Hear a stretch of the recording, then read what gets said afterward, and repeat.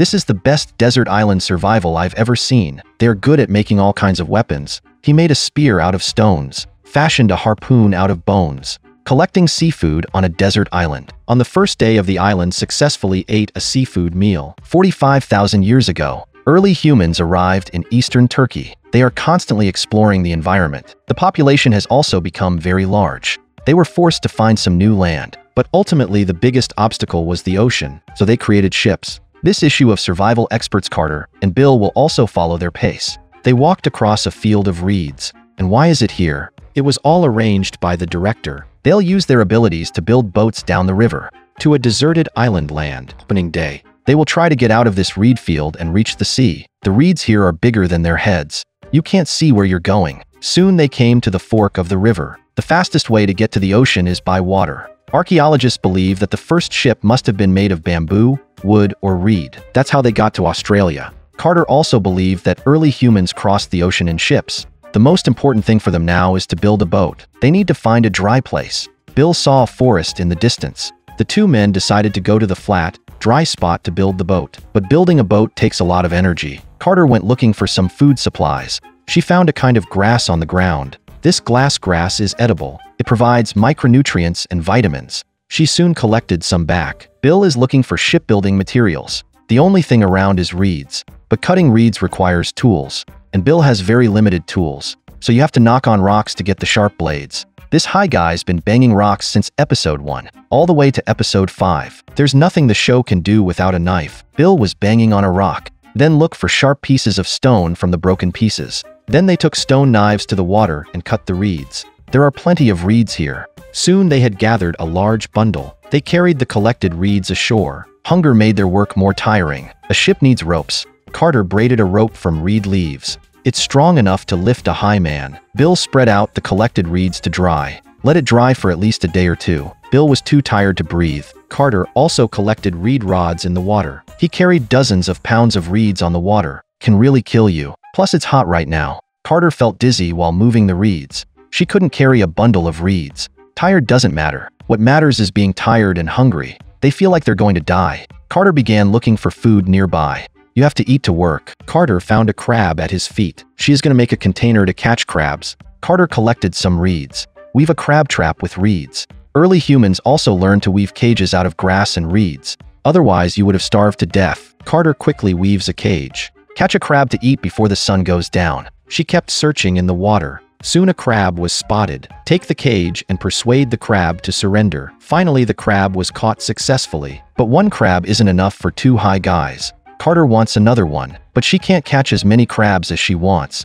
Depends on how much the show shows. They roasted the crabs in a fire. Soon they were eating delicious grilled crab. After eating, the two did not have sex. It's about discrediting the completion of the ship. Time to the next day. They got up early that morning to tidy the reeds. They need to build two ships, tie the reeds with rope, and make the shape of a ship. While building the boat, the two men had a disagreement. Bill tried to stuff it, but Carter won't give it to Bill. Anyway, Bill was trying to shove it in. Carter won't put it in Bill. Suddenly, Bill was unhappy. In the end, they finished the boat in an awkward atmosphere. Time came to the third day. Because Carter wouldn't put it in Bill yesterday, so they built two rafts. Building a raft like this is very simple. Just tie the reed with string. Hundreds of reed rods were used to bind the ban, to prevent water from getting inside. The pontoon bridges are then connected to form the boat. The most important thing is that the rope doesn't come loose. If it gets loose, it can cause water to get inside and sink into the ocean to feed the sharks. It took the two men three days to build the boat. Watching them build, that was a lot of effort. They finally finished building the pontoon bridge.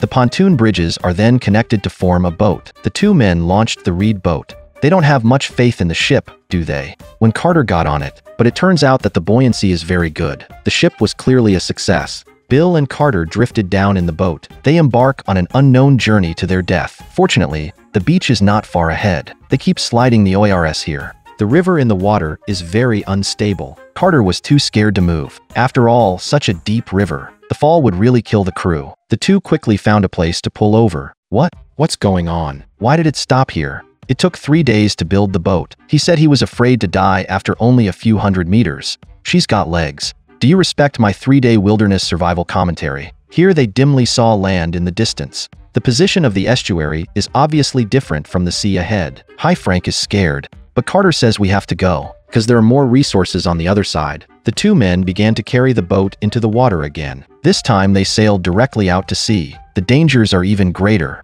but the waves kept lapping at their boats. After some effort, they were finally dragged to the depths of the ocean by the show crew. In the vast sea, it's just these two high guys. The voyage was very hard. Carter began to get seasick, gradually unable to maintain balance. Carter accidentally fell into the ocean, but it doesn't matter. It's good to have a show once in a while. The bitch is lying on her back in the water. At one point, I suspected Carter fell into the water trying to poop. This kind of movie plot. I've seen more than you can walk, under a flash of starlight. So they came to the desolate island. Now they were feeling very tired. Carter just wants to get back to shore. The two were looking for a suitable disembarkation point. Soon we see beautiful beaches. The two of them are gearing up and heading there. In a flurry of effort, finally landed on a desert island. Two high people are about to burn out. Just lie down on the ground and rest. This journey is very tiring. Time came to the fourth day. Two high men in the spirit of discovery. The sea crossing was completed and discovered a new land full of unknowns.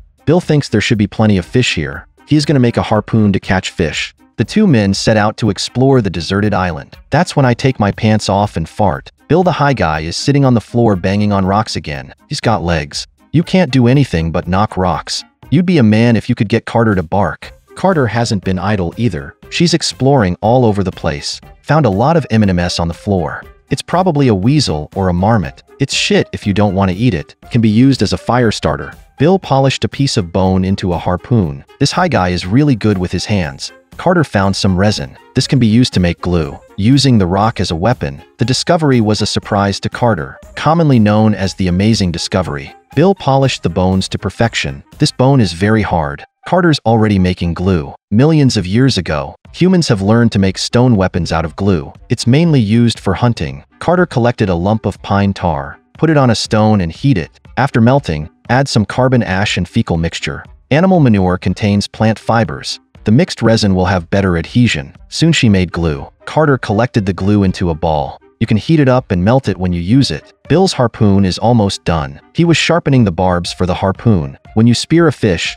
the barbs get stuck in the flesh. Bill fitted the harpoon on the stick. He went fishing alone in a boat. Hey, can you put some pants on? What's the deal with a grown man wearing a dress? There are a lot of reefs in this location. Bill wants to try it here. He dived to the bottom with a harpoon. I saw a lot of urchins on the rocks. It's very nutritious seafood for him. There's enough urchins in this area to shit him out. Carter cut her dress out of stone. She's to use it for rope. These two stones can be used as cutting tools. This stone is not only sharp but also sharp. With a little work you can create a weapon with divine power. Carter smeared the stick with glue, and then you stick the stone in there and stick it together. Carter and Bill are really good with their hands. It also shows us a lot of survival skills. These two hippies are the only experts teaching us how to survive. Many dives back and forth to collect sea urchins. It wore Bill out, but he had to do it for the food. Bill is an expert in history. Diving is not his strong suit. The sea urchin that was prized open couldn't be picked up for lack of air. Although the food is plentiful, but it is very difficult to obtain. After hours of diving, he collected a lot of sea urchins. Bill takes the urchin back to the desert island. These sea urchins are what they're having for dinner. But the waves along the shore were very big. They were collecting sea urchins. Some washed away by the waves. It's really a shame. The remaining sea urchins are especially valuable. They left the shore. Build a fire on the rock. Carter also collected some conch. Bill was amazed at the weapons Carter had made. This woman is not a idle eater and makes some weapons. Carter breaks open the conch shells for roasting, and Bill uses rocks to treat sea urchins. There's not much to eat in there, but very nutritious. Just enough. You can still eat enough. It's the first seafood meal they've had since they arrived. As long as there is food, they can survive. So what else is going to happen to them? Look forward to an update in the next video.